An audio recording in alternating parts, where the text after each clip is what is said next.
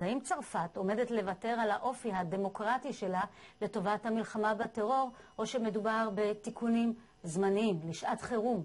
שלום לניצן הורוביץ, פרשן לעניינים בינלאומיים ובעיקר עניינים צרפתיים, חבר כנסת לשעבר, ושלום לדוקטור שרה פיינברג, מומחית למדיניות אירופית, המכון למחקרי ביטחון לאומי.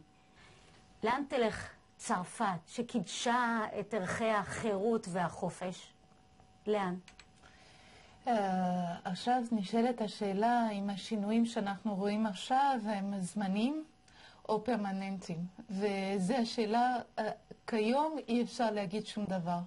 מה שאנחנו רואים, שרוב הפתרונות שהתקבלו, כמו לגרש את המהגרים, לבטל את האזרחות הצרפתית של החשודים, או של החשודים בעלי אזרחות כפולה, לבצע האזנות בבתי כלא וכולי וכולי, אלו הפתרונות שהועלו על ידי מפלגה אחת בצרפת, זה המפלגה של מרין לפן, מפלג, מפלגה הכי קיצונית ולאומנית שקיימת בצרפת. אבל... אז אנחנו רואים שהקיצונים הופכים להיות את המיינסטרים, את השיח uh, של הזרם המרכזי. אז זה בדיוק העניין, הקיצונים יעטפו את צרפת? יש סכנה כזאת, זו סכנה פוליטית מוחשית. הנשיא הסוציאליסטי הולנד הוא לא פופולרי. יש עוד כמה שבועות בחירות למועצות אזוריות, ומרין לפן היא מועמדת, יש לה סיכוי טוב פעם ראשונה לחזית הלאומית לקבל מחוז. ואנחנו יודעים, פה אבל... בישראל, מהדוגמה הישראלית, אנחנו יודעים מה פחד ותחושת איום והישרדות עושה. נכון, ותמיד כוחות מהסוג הזה מנצלים מצבי חירום לאומיים כדי לזנק על השלטון, לעורר פחד וכולי. אבל אני חושב שבסופו של דבר בצרפת זה לא יצליח להם. מהטעם הפשוט שאם זה כן יצליח להם, צרפת כבר לא תהיה צרפת. זאת אומרת, צרפת, כמו שרוב הצרפתים רוצים אותה, מדינה חופשית, דמוקרטית, פתוחה, חילונית, זה מה שנקרא ערכי הרפובליקה, שהם בבסיס ההוויה הצרפתית. אם יוותרו עליהם לצורך מאבק בטרור, בעצם הטרור ניצח, כי הוא יביס את הרוח הצרפתית. לכן אני חושב שהנשיא הזה והממשלה ילכו רחוק במאבק בטרור, הם פשוט לא יכולים להרשות לעצמם דבר אחר, כי הם יודחו מהשלטון אם הם לא יאבקו בטרור, אבל הם לא יוותרו על ערכי הבסיס, שאלה הערכים הצרפתיים של 200 ו-300 שנה. אבל איך זה ילך ביחד? אנחנו יודעים שכדי להיאבק בטרור, מדינות, גם הדמוקרטיות ביותר, צריכות אה, אה, ללכת בנתיבים לא דמוקרטיים בעליל. זה פשוט לא ילך ביחד.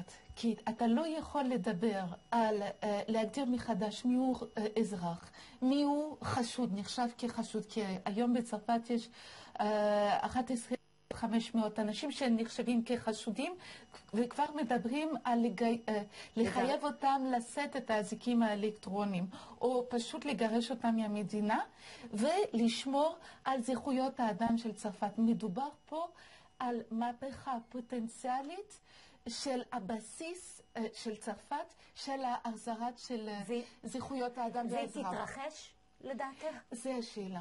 אי אפשר לדעת כיום, אי אפשר לדעת. היו מקרים בתולדות צרפת, צרפתים אוהבים היסטוריה, שבהם בגלל מצבי חירום לאומיים, המדינה גלשה למצבים לא דמוקרטיים. זה היה בתקופת אלג'ירה, בתקופת וישי, בתקופת דרייפוס, בכל מיני צמתים כאלה, שכוחות שחור עלו ו- וניצלו מצבי חירום כדי להסיט את המדינה לכיוונים לא דמוקרטיים, וצרפת שילמה מחיר נוראי על הסטיות האלה, ובזיכרון ההיסטורי של העם הצרפתי יש מודעות לכך.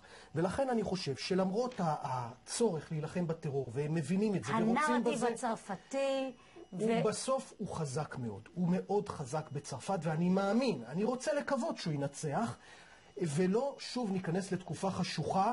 מהסוג שאני הזכרתי קודם, להבין, שנשלם עליה מחיר קשה מאוד. אבל אפשר להבין איך ברגע כזה אנשים קודם כל רוצים לוודא שהם יתקיימו, שהם יהיו, בוודאי. ואחר כך לערכי היסוד, ואחר כך לסיפור, ואחר כך לנרטיב. יש פוטנציאל, למרות הנרטיב הזה והבסיס הזה, יש פוטנציאל אדיר למלחמת אזרחים, וזה בדיוק מה שדאעש רוצה. הם רוצים, הם מעוניינים בהסלמה, ויש פוטנציאל אדיר בגלל האחוז הגבוה ביותר באירופה של מוסלמים, ובגלל רמת התסכול של האוכלוסייה. מלחמת אחים בין מי למי? בין המוסלמים לבין הצרפתים. בין המדינה הצרפתית לאזרחים המוסלמים שלה. בדיוק. רוב המוסלמים בצרפת הם אזרחים, הם ילידים. אבל השאלה, גם עם האזרחים הלא מוסלמים, האם גם ביניהם תתפתח מחלוקת? שאלה מאוד גדולה, וצריך לעשות הכל כדי שזה לא יקרה. כי אז צרפת תהפוך למקום שהרבה מאוד אנשים לא יוכלו לחיות בו, והיא לא תהיה אותה צרפת שאנחנו מכירים ואוהבים. והצרפתים אוהבים, זאת תהיה מדינה מסוג אחר. ואני חושב שפה האתגר הפוליטי של הנשיא עכשיו הוא, הוא קשה בצורה בלתי רגילה, אבל הוא אפשרי, וצרפת הוכיחה, יש לה את היכולות המשטרתיות, הכלכליות, החברתיות, התרבותיות, היא מדינה חזקה, היא מדינה יציבה, והיא יכולה להתמודד עם טרור ולשמור על זכויות והיא. מדינה של רוח. אפרופו אבל זו הרוח שאלה הצ- מאוד קשה, כמו שעמית עתיקן אמרה, מאוד מאוד קשה. וגם. זו- זאת מדינה של רוח. זו מדינה שהיא לא גמו- גמישה מספיק כדי להתמודד אה, אה, עם מעגל הטרור הזה. כלומר, כלומר, היא צריכה ללמ- ללמוד מבריטניה או מישראל, היא צריכה ללמוד מה זה civil resilience, מה זה להגיב מהר. להגיב מהר. לא מגיבים. ואחרי שארלי אבדו דיברו הרבה ולא עשו כלום. אני מדברת כאישה שמטיילת בפריז, בעיר שלי, כל הזמן לא עשו כלום. והפחד שלי שהמדינה לא תהיה גמישה מספיק כדי להתמודד עם פה זה. אני חייב להעיר, אני, אני לא מסכים עם זה. אה, בסך הכל בשנה האחרונה ראינו לפחות חמישה סיכולים ברחבי צרפת של פיגועים שהיו אמורים להיות פיגועים גדולים והמשטרה הצרפתית מנעה אותם. היו הרבה מאוד מעצרים, יש הרבה מאוד מעקבים על האנשים שחוזרים מסוריה. מה שקרה פה עכשיו זה שדאעש אה, עלה מדרגה בהתקפות, ואני מאמין שגם צרפת, הממשלה שלה תעלה מדרגה, כבר ראינו את התקיפות הלילה בסוריה, ויהיו דברים נוספים גם בתוך שטח המדינה. מה שאני אומר, זה כמובן שאלה פתוחה, אבל יש לצרפת את היכולת ללחום ביעילות בטרור, בלי לאבד את הצלם הדמוקרטי שלה. נחיה ונראה. אני מאוד מודה לשניכם.